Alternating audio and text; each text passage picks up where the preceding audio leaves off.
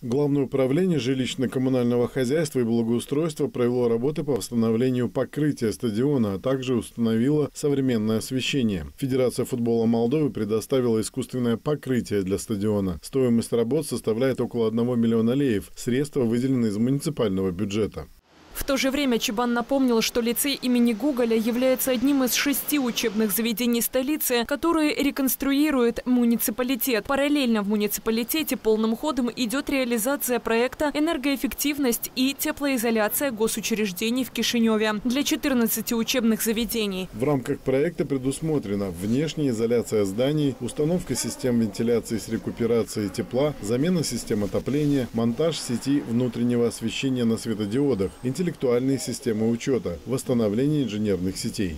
Аналогичные работы ведутся в шести детских садах и трех больницах столицы. Общая стоимость проекта 25 миллионов евро. Он реализуется при Марии Муниципей Кишинев при финансовом участии партнеров по развитию.